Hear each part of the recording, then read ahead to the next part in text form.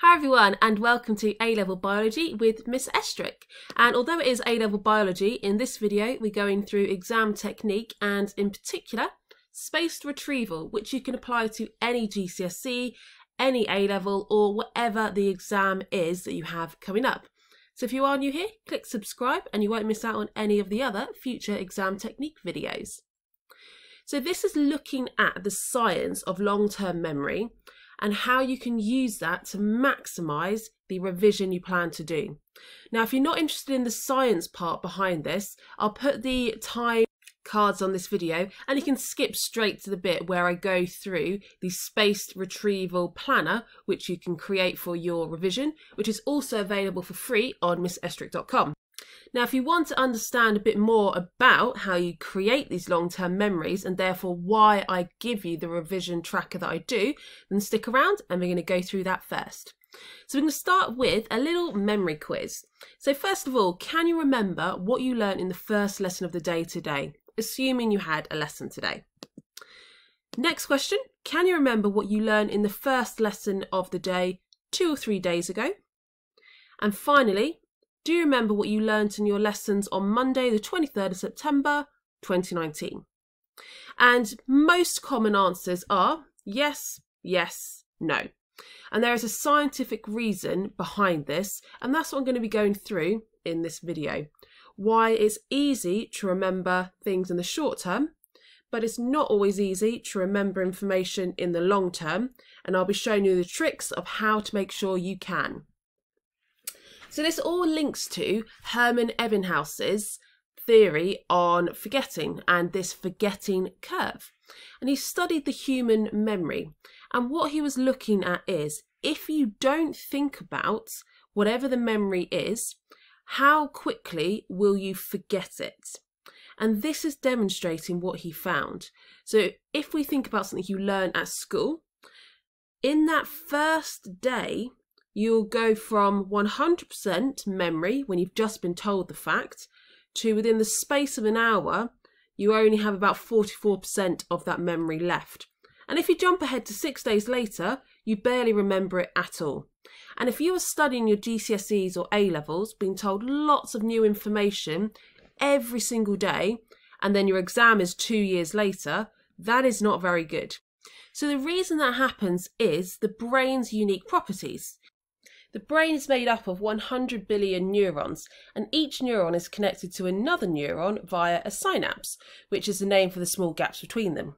And because of this vast number, that is what gives the brain its incredible storage strength and capacity to store information.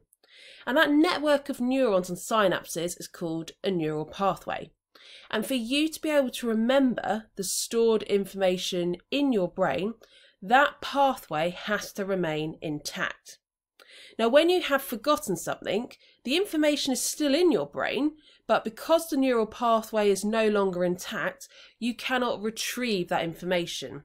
And that's what we mean here by the fact that the brain has a very poor retrieval strength. So you struggle to remember information once that pathway has been severed.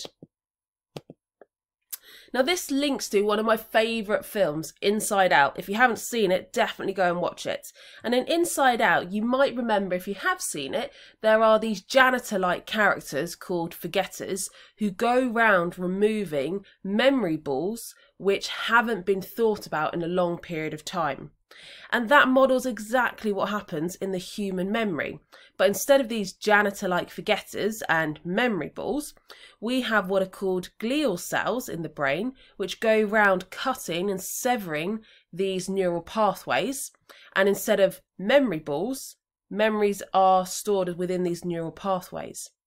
And what this means is if you are not thinking about a memory for um, a long enough period of time or frequently enough, the glial cells will sever that pathway so those neurons can be recycled and used to make a new memory.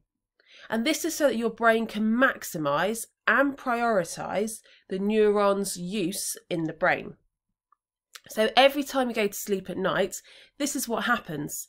Things that you think about frequently and look over a lot, if we think about work, will have strengthened neural pathways and it will reinforce that pathway.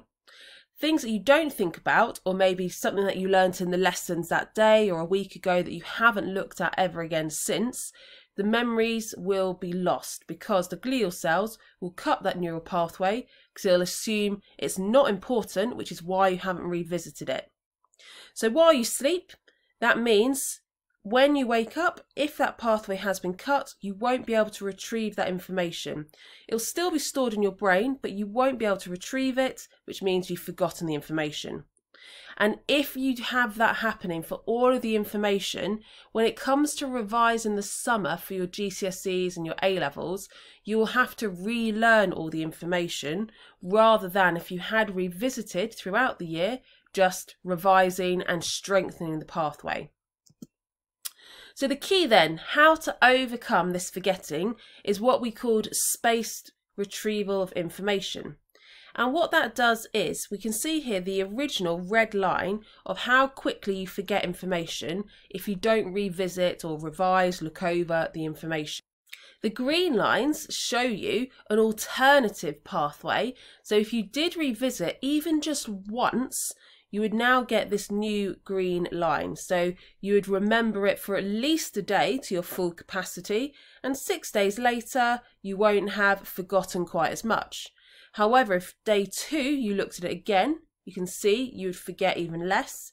If you looked at it again on day three, by day six, you've barely forgotten anything.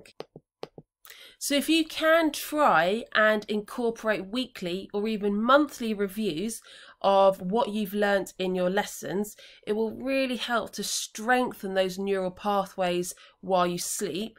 And what that means is it will build a really strong long term memory. And therefore, by the time you do your exams in a year, two years, or even six months, you'll have a really strong long term memory.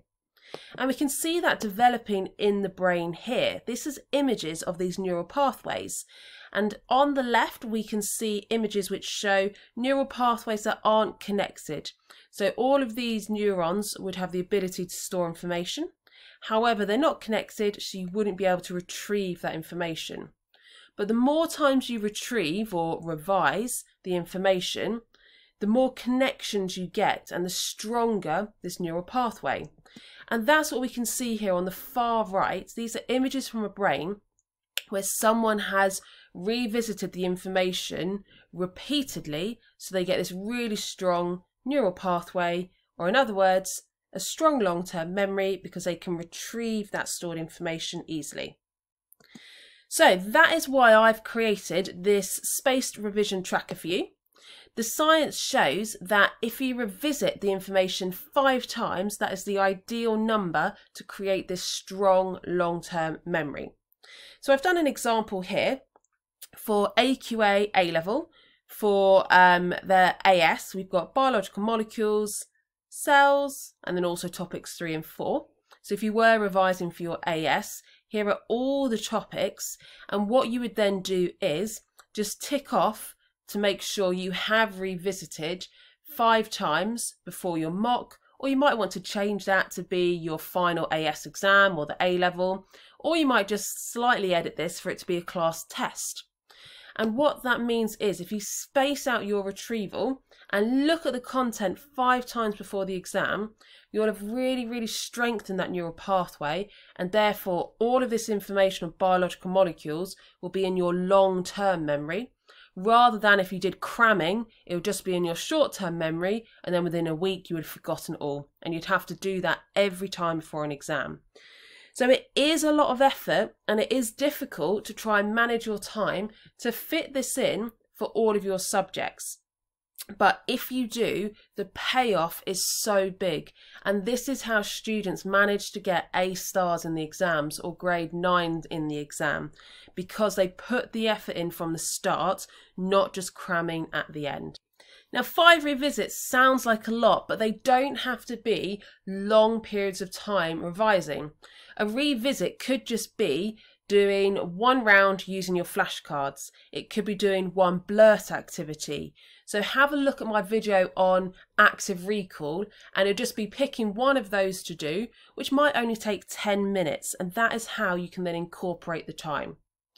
So have a go, download this, you can then edit it. I've done it as a Word document so you can edit this and use it for whatever you want. And I hope you find that it does help you to organise your time better in the lead up to the mocks.